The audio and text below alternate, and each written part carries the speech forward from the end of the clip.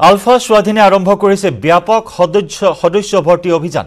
অসমতে নহয় অসমৰ বাহিৰতো দিল্লীকে ধৰি আন আন ঠাইত সদস্য ভৰ্তি অভিযানত উঠি পৰি নামিছে আলফা স্বাধীন।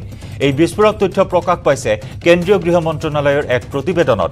ইতিমধ্যে সমগ্ৰ বিষয়টো অনুসন্ধানৰ বাবে ৰাষ্ট্ৰীয় অনুসন্ধান সংস্থা চমুকৈ এন আই এক নিৰ্দেশ দিছে গৃহ মন্ত্ৰণালয়ে। গৃহ মন্ত্ৰণালয়ৰ এই প্ৰতিবেদনত স্পষ্টকৈ উল্লেখ আছে যে ৰাজধানী দিল্লীত একাংশ অসমীয়া যুৱক যুৱতীক টাৰ্গেট কৰি লৈছে আলফা স্বাধীনে। ডিব্ৰুগড়ৰ চাবুৱা আৰু তিনিচুকীয়াৰ শদিয়াৰ চাপাখোৱা এলেকাৰ পৰা আলফাই ব্যাপক হাৰত সদস্য ভৰ্তিৰ লগতে অসমত কুটাঘাটৰ পৰিকল্পনা কৰা বুলিও এই প্ৰতিবেদনত উল্লেখ কৰা হৈছে। এক বিস্ফোৰক খবৰ এই মুহূৰ্তত সন্মুখলৈ আহিছে। আলফা স্বাধীনে আৰম্ভ কৰিছে ব্যাপক সদস্য ভৰ্তি অভিযান। কেৱল অসমতেই নহয় অসমৰ বাহিৰতো দিল্লীকে ধৰি আন আন ঠাইত সদস্য ভৰ্তি অভিযানত উঠি পৰি লাগিছে আলফা স্বাধীন। শেহতীয়াকৈ ধাৰাসাৰ গতিত জংঘললৈ গতি কৰিছে অসমৰ যুৱক যুৱতী। জংঘললৈ নিষিদ্ধ যাত্ৰা অব্যাহত আছে অসমৰ যুৱক যুৱতীৰ। আৰু এই অভিযান কেৱল অসমতে সীমাবদ্ধ হৈ থকা নাই দিল্লীকে ধৰি আন আন ঠাইতো সদস্য ভৰ্তি অভিযানত উঠি পৰি লাগিছে আলফা স্বাধীন। এই বিস্ফোৰক তথ্য প্ৰকাশ পাইছে কেন্দ্ৰীয় গৃহ মন্ত্ৰণালয়ৰ এক প্ৰতিবেদনত। ইতিমধ্যে সমগ্ৰ বিষয়টো অনুসন্ধানৰ বাবে ৰাষ্ট্ৰীয় অনুসন্ধান সংস্থা চমুকৈ এন আই এক নিৰ্দেশ দিছে গৃহ মন্ত্ৰণালয়ে। গৃহ মন্ত্ৰণালয়ৰ এই প্ৰতিবেদনত স্পষ্টকৈ উল্লেখ আছে যে ৰাজধানী দিল্লীত একাংশ অসমীয়া যুৱক যুৱতীক টাৰ্গেট কৰি লৈছে আলফা স্বাধীনে। ডিব্ৰুগড়ৰ চাবুৱা আৰু তিনিচুকীয়াৰ শদিয়াৰ চাপাখোৱা এলেকাৰ পৰা আলফাই ব্যাপক হাৰত সদস্য ভৰ্তিৰ লগতে অসমত কুটাঘাটৰ পৰিকল্পনা কৰা বুলিও প্ৰতিবেদনত উল্লেখ কৰা হৈছে। আমাৰ এছ'চিয়েট এডিটৰ পাৰ্থজ্যোতি বৰাৰ সৈতে এই গুৰুত্বপূৰ্ণ বিষয়টোৰ ওপৰত আমি আলোচনা কৰিম। এই মুহূৰ্তত কিছু তথ্য লাভ কৰিম। পাৰ্থ এক চাঞ্চল্যকৰ তথ্য এটা স্পৰ্শকাতৰ তথ্য এই মুহূৰ্তত জানিব পৰা হৈছে যে এক প্ৰতিবেদন য'ত উল্লেখ কৰা হৈছে কেৱল অসমেই নহয় দিল্লীকে ধৰি কেইবাটাও স্থানত এতিয়া আলফা স্বাধীন উঠি পৰি লাগিছে। অসমীয়া যুৱক যুৱতীক টাৰ্গেট কৰি লোৱা হৈছে। জয়ন্ত এই বাতৰিটো আজি শিৰোনাম দখল কৰিছে সংবাদপত্ৰ ৰাষ্ট্ৰীয় ৰাজ্যিক সংবাদপত্ৰত। ইতিমধ্যে আমি বহুদিনৰ পৰা বিগত সময়ত বাতৰি বাতৰি প্ৰদান কৰি আছিলো আলফাত যোগদান কৰা ল'ৰা ল'ৰা ছোৱালীৰ সন্দৰ্ভত বাতৰি প্ৰদান কৰি আছিলো। কিন্তু এইবাৰ দেখা গৈছে কেন্দ্ৰীয় গৃহ মন্ত্ৰণালয় প্ৰথমবাৰৰ কাৰণে উদ্বিগ্ন হৈছে আৰু তেওঁলোকে এখন পত্ৰ প্ৰেৰণ কৰিছে। কেন্দ্ৰীয় গৃহ মন্ত্ৰালয়ে এখন পত্ৰ প্ৰেৰণ কৰিছে এন আই এক। ইতিমধ্যে সেই কথা আপুনি জনাইছে আৰু এন আই এক নিৰ্দেশ দিছে সমগ্ৰ বিষয়টোত তদন্ত কৰিবলৈ। এই পত্ৰখন যথেষ্ট গুৰুত্বপূৰ্ণ। এই পত্ৰখনত বহু কেই বহু কেইটা গুৰুত্বপূৰ্ণ কথা উল্লেখ আছে। তাৰে প্ৰথমটো হৈছে আপুনি উল্লেখ কৰাৰ দৰে আলফাই এই যি ৰিক্ৰুটমেণ্ট ড্ৰাইভ আলফাত যোগদানৰ প্ৰক্ৰিয়া বা আলফাত যোগদানৰ কাৰণে যুৱক যুৱতীক আকৰ্ষিত কৰাৰ যি প্ৰক্ৰিয়া সেই প্ৰক্ৰিয়া সীমাবদ্ধ ৰখা নাই কেৱল অসমতে। সেই প্ৰক্ৰিয়া তেওঁলোকে দিল্লীতো আৰম্ভ কৰিছে বুলি পত্ৰখনত উল্লেখ আছে। আৰু মন কৰিব আজি চাৰি পাঁচ বছৰ আগতে গহপুৰৰ এজন যুৱক দিল্লীত অধ্যয়নৰত এজন যুৱক আলফাত যোগদান কৰাৰ বাতৰি সেই সময়ত ওলাইছিলে। গতিকে এইবাৰো আলফাই আৰু বিগত সময়ত আলফা দিল্লীত সক্ৰিয় হোৱাৰ অন্য তথ্য আছে বা অন্য বাতৰিও আছে। আলফা বিগত সময়ত প্ৰণৱ মুখাৰ্জীকে ধৰি প্ৰণৱ মুখাৰ্জী যেতিয়া কেন্দ্ৰীয় মন্ত্ৰী হৈ আছিলে প্ৰণৱ মুখাৰ্জীকে ধৰি বহুকেইজন কংগ্ৰেছৰ সেই সময়ৰ মন্ত্ৰী বা সাংসদক পত্ৰ প্ৰেৰণ কৰিছিল বিভিন্ন কাৰণত। সেই সেই হিচাপৰ পৰা আলফা দিল্লীত সেই তথ্যসমূহৰ পৰা আলফা দিল্লীত যে প্ৰথমবাৰৰ কাৰণে এক্টিভ হৈছে সেই কথা নহয় পূৰ্বতেও এক্টিভ হোৱাৰ বাতৰি আহিছিলে। কিন্তু এইবাৰ এই কথা উল্লেখ কৰিছে কেন্দ্ৰীয় গৃহ মন্ত্ৰণালয়ে দিল্লীৰ যিসকল যুৱক যুৱতী তেওঁলোকক আকৰ্ষিত কৰিবলৈ আলফাই চেষ্টা কৰিছে। দ্বিতীয়তে আপুনি ক'লেই আলফা ক'ত ক'ত এক্টিভ উজনি অসমৰ দুখন জিলাত আলফা এক্টিভ আলফা মডুল এতিয়াও চলি আছে বুলি গৃহ মন্ত্ৰণালয়ে কৈছে আৰু তাৰ সমান্তৰালকৈ আলফাই যি ৰিক্ৰুটমেণ্ট ড্ৰাইভ আৰম্ভ কৰিছে তাৰ যোগেদি আলফা আৰু সক্ৰিয় হ'ব বিচাৰিছে আত্মপ্ৰকাশ কৰিব বিচাৰিছে আলফাৰ যিখিনি কাৰ্যকলাপ সেই কাৰ্যকলাপ বৃদ্ধি কৰিব বিচাৰিছে কুটাঘাট কুটাঘাট সম্প- সম্পন্ন কৰিব বিচাৰিছে বুলি পত্ৰখনত কেন্দ্ৰীয় গৃহ মন্ত্ৰালয়ে যিখন এন আই এলে পত্ৰ প্ৰেৰণ কৰিছে সেই পত্ৰখনত উল্লেখ আছে। আৰু এই পত্ৰৰ ভিত্তিতে এন আই এক যি national investigation agency act two thousand এইটৰ অধীনত তাৰ বিভিন্ন দফাৰ অধীনত এন আই এই সমগ্ৰ বিষয়টো তদন্ত কৰিবলৈ নিৰ্দেশ দিছে আৰু মই পুনৰ কৈছো প্ৰথমবাৰৰ কাৰণে আলফা ৰিক্ৰুটমেণ্ট ড্ৰাইভত কেন্দ্ৰীয় চৰকাৰে উদ্বিগ্নতা প্ৰকাশ কৰিছে। জয়ন্ত। কিন্তু পাৰ্থ সবাতোকৈ গুৰুত্বপূৰ্ণ তথা তাৎপৰ্যপূৰ্ণ বিষয় এয়াই হ'ল যে যি সময়ত মুখ্যমন্ত্ৰী ডক্টৰ হিমন্ত বিশ্ব শৰ্মাই আলফা স্বাধীনৰ বাবে শান্তি আলোচনাৰ ক্ষেত্ৰত পথ প্ৰশস্ত কৰিবলৈ কেন্দ্ৰীয় গৃহমন্ত্ৰীগৰাকীৰ সৈতে আলোচনা কৰিছে আলোচনাত মিলিত হৈছে। ইতিমধ্যে কেন্দ্ৰীয় গৃহমন্ত্ৰীগৰাকীয়েও সেও সংকেত দিয়া বুলিও বাতৰি সম্প্ৰচাৰ কৰা হৈছে। বিগত সময়ছোৱাত আমি সেই বাতৰিও সম্প্ৰচাৰ কৰিছোঁ। গতিকে তেনে সময়ত এই বিষয়টোৱে কি সূচাইছে দৰাচলতে?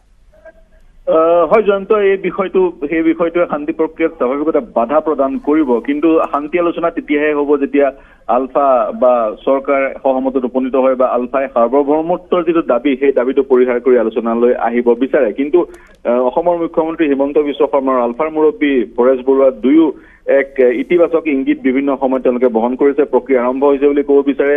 এই প্ৰক্ৰিয়াক স্বাগতম জনাইছিল পৰেশ বৰুৱাই আৰু অসমৰ মুখ্যমন্ত্ৰী গৰাকীয়েও। ই এক দীঘলীয়া প্ৰক্ৰিয়া কিন্তু প্ৰক্ৰিয়া আৰম্ভ হৈছে বুলি বহুবাৰ কেতবোৰ মন্তব্য কৰিছিল। আৰু তাৰ সমান্তৰালকৈ আলফাইও যুদ্ধবিৰতি ঘোষণা কৰিছে। কিন্তু যুদ্ধবিৰতিৰ মাজতে আলফাত ৰিক্ৰুইটমেণ্ট ড্ৰাইভ আৰম্ভ হোৱাৰ কথাত হোৱাৰ বিষয়টোত উদ্বিগ্নতা প্ৰকাশ কৰিছে কেন্দ্ৰীয় চৰকাৰে হয় আমি বহু সময়ত দেখিছো বহু যুৱক যুৱতী অসমৰ পালফাক যোগদান কৰিছে। সঠিক নাম্বাৰটো আমাৰ হাতত নাই। দুশৰো অধিক পোৱা যোৱা ছমাহত বুলি বিভিন্ন সংবাদ পাত- পত্ৰত প্ৰকাশ পাইছে। গতিকে স্বাভাৱিকতে কেন্দ্ৰীয় চৰকাৰ উদ্বিগ্ন হ'বই। আৰু তদন্তত কি আহে কি হয় এনাই তদন্তত কিমান দূৰ আগবাঢ়ে তদন্ত প্ৰক্ৰিয়া সেয়াও লক্ষণীয় হ'ব। কিন্তু আলফা যিহেতু এটা নিষিদ্ধ সংগঠন আলফা ৰিক্ৰুইটমেণ্ট অসমৰ ভাৰতবৰ্ষৰ আইন মতে বেআইনী গতিকে তেনে পৰিপ্ৰেক্ষিতত কেন্দ্ৰীয় চৰকাৰে তদন্ত দিয়াটো খুবেই স্বাভাৱিক। ধন্যবাদ। পাৰ্থ ধন্যবাদ জ্ঞাপন কৰিছোঁ আপোনাক। আপুনি এইখিনি তথ্য আমাক জনালে। কেন্দ্ৰীয় গৃহ মন্ত্ৰণালয়ে সমগ্ৰ বিষয়টোত উদ্বিগ্নতা প্ৰকাশ কৰিছে। ইতিমধ্যে এন আইক নিৰ্দেশ দিছে গৃহ মন্ত্ৰণালয়ে। আৰু যিহেতু শেহতীয়াকৈ দেখিবলৈ পোৱা হৈছে যে অসমৰ বহু যুৱক যুৱতীয়ে ধাৰাসাৰ গতিত ধাৰাবাহিক ৰূপত আলফা স্বাধীনলৈ গমন কৰাৰ খবৰ আহিছে। আৰু তেনে সময়তে কিন্তু এক চাঞ্চল্যকৰ তথ্য কেন্দ্ৰীয় গৃহ মন্ত্ৰণালয়ৰ প্ৰতিবেদনত প্ৰকাশ পাইছে। আনকি সদস্যভৰ্তি অভিযানেই নহয় অসমত কুটাঘাত পৰিকল্পনা কৰিছে। কুটাঘাতৰো পৰিকল্পনা কৰা তথ্য এই প্ৰতিবেদনত প্ৰকাশ কৰিছে কেন্দ্ৰীয় গৃহ মন্ত্ৰণালয়ে।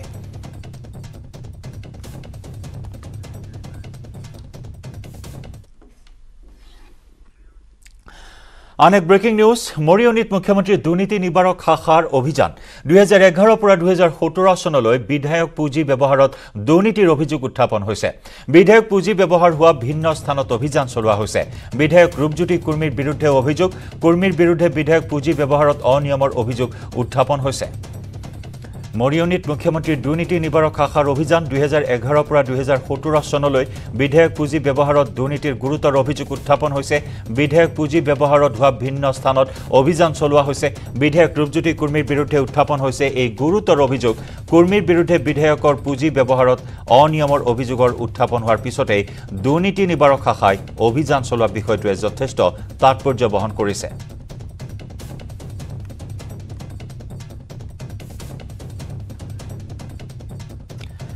অধিক খবৰ লাভ কৰিম আমাৰ সাংবাদিক জ্যোতিপ্ৰসাদ গগৈ আছে। এই মুহূৰ্তত আমাৰ সৈতে সংযুক্ত হৈ জ্যোতিপ্ৰসাদ বিধায়ক ৰূপজ্যোতি কুৰ্মী কংগ্ৰেছ ত্যাগ কৰি তেওঁ বিজেপিলৈ গ'ল দুহেজাৰ এঘাৰ চনৰ পৰা দুহেজাৰ সোতৰ চন এইখিনি সময়ত তেওঁ কংগ্ৰেছৰ বিধায়ক আছিল আৰু এই সময়ছোৱাত বিধায়ক পুঁজিৰ চৰম অনিয়ম কেলেংকাৰীৰ অভিযোগ অভিযোগ উত্থাপন হৈছে। এই অভি- অধিক খবৰ জানিব বিচাৰিম। কেনেদৰে এই অভিযান চলোৱা হৈছে?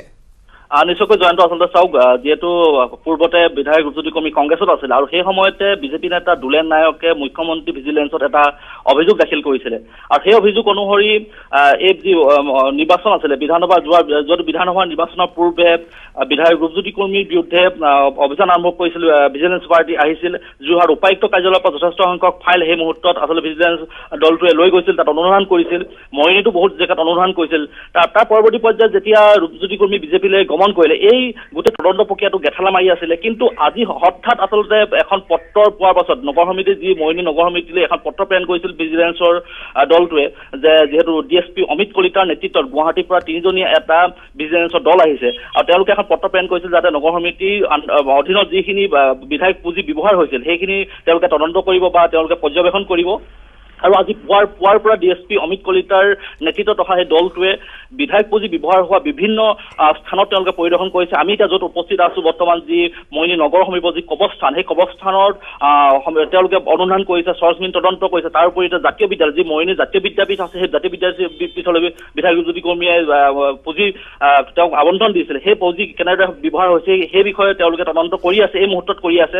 মই দুইচূত্ৰ দৰ্শকসকলক জনাওঁ যে এই মুহূৰ্তত তেওঁলোকে সেই তদন্ত অব্যাহত ৰাখিছে। আৰু যিহেতু ক'ব লাগিব যে আমি অনানুষ্ঠানিকভাৱে সেই ভিজিলেন্সৰ দলটোৰ লগত আমি কথা পাতিছিলো তেওঁলোকে কৈছে মুখ্যমন্ত্ৰীৰ প্ৰত্যক্ষ পৃষ্ঠপোষকতাত এই অনুসন্ধান হৈছে বুলি তেওঁলোকে কৈছে। মুখ্যমন্ত্ৰীৰ আচলতে নিৰ্দেশ অবিহনে তেওঁলোকে কোনো কাৰ্য কৰিব নোৱাৰে তেনেকুৱা ধৰণৰ এটা মন্তব্য কিন্তু আনুষ্ঠানিকভাৱে তেওঁলোকে আমাৰ আগত কোনো কথা প্ৰকাশ কৰা নাই। কিন্তু তেওঁলোকে অনানুষ্ঠা- অনানুষ্ঠানিকভাৱে এটা কথা কৈছে যে মুখ্যমন্ত্ৰী প্ৰত্যক্ষ পৃষ্ঠপোষকতা এই সমগ্ৰ তদন্ত প্ৰক্ৰিয়াটো হৈছে। আমি সমষ্টিটোৰ যিসমূহ কাম আছে যিহেতু দুহেজাৰ এঘাৰ চনৰ পৰা সোতৰ চনলৈকে বিধায়ক পুঁজি ব্যৱহাৰত অনিয়ম হোৱাৰ অভিযোগ উত্থাপন হৈছিল। এই সমগ্ৰ প্ৰক্ৰিয়াটো আচলতে চাব আচলতে সঠিক যি অভিযোগ উত্থাপন হৈছে সঁচাকৈ হৈছিল নে নে কি হৈছিল গোটেই আচলতে প্ৰকৃত তেওঁলোকে চাই আছে বৰ্তমান। আৰু যিহেতু লক্ষণীয় হ'ব কাৰণ যিহেতু এতিয়া তেওঁ এগৰাকী বিজেপি বিধায়ক যথেষ্ট সক্ৰিয় এগৰাকী বিধায়ক ৰূপে বৰ্তমান যিহেতু দলটোত মজিয়াত তেওঁ আছে মুখ্যমন্ত্ৰী ঘনিষ্ঠ বুলি চৰ্চিত কিন্তু এই মুহূৰ্তত আচলতে হঠাতে এই যি তদন্ত প্ৰক্ৰিয়াটো আকৌ পুনৰ আৰম্ভ হৈছে ই আচলতে অতি লক্ষণীয় হৈছে তাৎপৰ্যপূৰ্ণ হিচাপে বিবেচিত হৈছে। আচলতে জয়ন্ত এইটো মত ক'ব পাৰি যে আচলতে এই যি মন্ত্ৰীসভা সম্প্ৰসাৰণৰ সময়ত এই ধৰণৰ যি তদন্ত প্ৰক্ৰিয়াটো হৈছে ই অতিকৈ লক্ষণীয়। জয়ন্ত। নিশ্চয়কৈ অতিকৈ লক্ষণীয় আৰু সকলোৰে দৃষ্টি এই মুহূৰ্তত নিবদ্ধ হৈ আছে। এই অভিযানৰ ওপৰত বিশেষকৈ একেৰাহে কেইবাবাৰো মৰিয়নি সমষ্টিক প্ৰতিনিধিত্ব কৰিছে ৰূপজ্যোতি কুৰ্মীয়ে আৰু তাৰ পিছত তেওঁ নতুন পৰিচয় লাভ কৰিলে। বিজেপিলৈ গ'ল বিজেপিৰ পৰা পুনৰ নিৰ্বাচিত হ'ল। এই মুহূৰ্তত জ্যোতিপ্ৰসাদ গগৈ ৰাইজৰ মাজত এটাই প্ৰশ্নৰ উদয় হ'ব যে যি সময়ত মুখ্যমন্ত্ৰীগৰাকীয়ে দাবী কৰিছে বা উল্লেখ কৰিছে যে কোনো অপৰাধীয়েই সাৰি যাব নোৱাৰিব। গতিকে তেনেস্থলত এগৰাকী বিজেপি বিধায়কৰ বিৰুদ্ধে যি এই অভিযোগ এই মুহূৰ্তত উত্থাপন হৈছে যি অভিযান চলোৱা হৈছে এয়া কেৱল সংবাদ মাধ্যমৰে চমক হৈ ৰ'ব নে দৰাচলতে তথ্য প্ৰমাণ লাভ কৰে শাস্তি লাভ কৰিব বিধায়কগৰাকীয়ে? এই প্ৰশ্ন এই মুহূৰ্তত ৰাইজৰ মনত।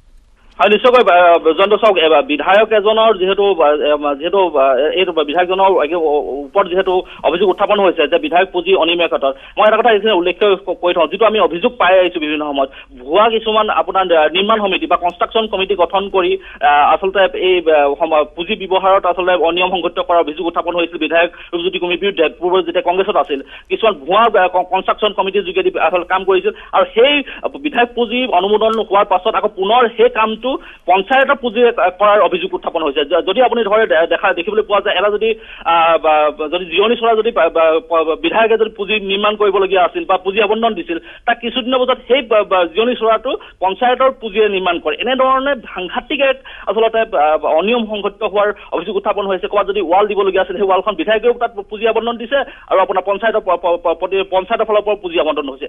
এনেদৰে আচলতে বহুত ধৰণৰ অনিয়ম সংঘটিত হৈছিল আৰু সেই সময় সময়ত বিজেপিৰ যি আছিল নেতা আছিল। দুলে নাগ এইসমূহ সমগ্ৰ সবিস্তাৰে সেই সময়ত তদন্ত মুখ্যমন্ত্ৰী সৰ্বানন্দ সোণোৱালৰ ভিজিলেন্সত এইসমূহ অভিযোগ উত্থাপন কৰিছিল। আৰু আৰু এটা মন কৰিবলগীয়া কথা যে সেই মুহূৰ্তত আচলতে আমি যেতিয়া ৰূপজ্যোতি কৰ্মীক সাক্ষাৎকাৰ লৈছিল তেতিয়া কৈছিল যে মোৰ ইয়াত কোনো ধৰণৰ আচলতে হস্তক্ষেপ নাথাকে যিহেতু ইয়াত উপায়ুক্ত থাকে কনষ্ট্ৰাকশ্যন কমিটি থাকে।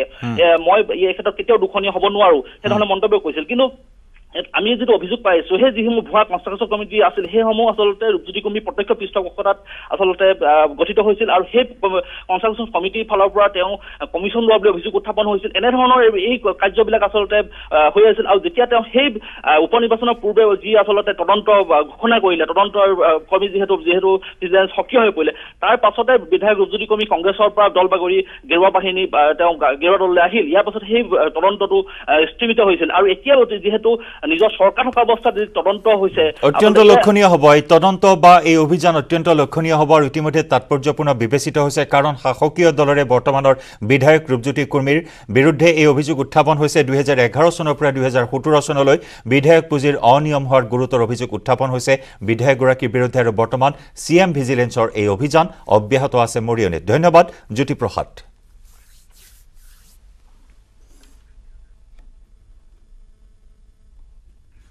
মিডিয়া এইটিনত পুনৰ চাওঁ আহক পলকতে কেইটামান খবৰ। বিদ্যালয়ৰ পাঠদান এৰি এজাক কণ কণ স্কুলীয়া ছাত্ৰ ছাত্ৰীৰ নামিল প্ৰতিবাদত। ভগ্ন দলঙৰ সমীপতে ছাত্ৰ ছাত্ৰীৰ প্ৰতিবাদ মাৰ্ঘেৰিটা সমষ্টিৰ বৰডুমচাৰ কানাই পথাৰ আৰু কৰিয়াজান সংযোগী একমাত্ৰ পথছোৱাত ডিব্ৰু নৈৰ ওপৰেদি যোৱা এখন ভগ্ন দলঙক লৈ বছৰ বছৰ ধৰি জীয়াতু ভুগি আহিছে। শীঘ্ৰেই দলংখনৰ নিৰ্মাণৰ দাবীত কৰিয়াজানৰ বিদ্যালয়ৰ কণ কণ ছাত্ৰ ছাত্ৰীসকলে এনেদৰে প্ৰতিবাদ মুখৰ হৈ উঠিল। এইবাৰ হাইস্কুল শিক্ষান্ত পৰীক্ষাত উজলিল তিতাবৰৰ শাৰীৰিকভাৱে সক্ষম এজন ছাত্ৰ। তিতাবৰৰ নৱমিলন উচ্চ ইংৰাজী বিদ্যালয়ৰ ছাত্ৰ কৃষ্ণ কছাৰীয়ে লেটাৰসহ দ্বিতীয় স্থান কঢ়িয়াই আনিবলৈ সক্ষম হয় শাৰীৰিকভাৱে সক্ষম আৰু দৰিদ্ৰতাকো নেওচি ছাত্ৰজনে এই সফলতা অৰ্জন কৰাত গৌৰৱান্বিত হৈছে পৰিয়াল লগতে বিদ্যালয়ৰ শিক্ষক শিক্ষয়িত্ৰী হোজাই মিলিক বস্তি গাঁৱত বন্যহস্তীৰ তাণ্ডৱ। নিশা খাদ্যৰ সন্ধানত গাঁওখনত প্ৰৱেশ কৰা হাতীৰ এটা বৃহৎ জাকে তাণ্ডৱ লীলা চলায় হাতীৰ জাকে ভাঙি লণ্ডভণ্ড কৰিলে কেইবাটাও বাসগৃহ। ইফালে হাতীৰ তাণ্ডৱৰ সময়ত বন বিভাগক অৱগত কৰাৰ পিছতো বন বিভাগে ব্যৱস্থা নোলোৱাৰ অভিযোগ ৰাইজৰ। ৰাজ্যৰ এঘাৰখন পলিটেকনিকৰ অস্থায়ী ভিত্তিত কৰ্মৰত অংশকালীন প্ৰবক্তাৰ কৰ্মবিৰতি। চাকৰি নিয়মীয়াকৰণৰ দাবীত সোমবাৰৰ পৰা তিনিদিনীয়া কৰ্মবিৰতি পালনেৰে প্ৰতিবাদ দুশ চল্লিছগৰাকী প্ৰবক্তাৰ। পিছে ধাৰাবাহিক আন্দোলনৰ পিছতো এইসকল প্ৰবক্তাৰ দাবীৰ প্ৰতি কোনো গুৰুত্ব নাই চৰকাৰৰ।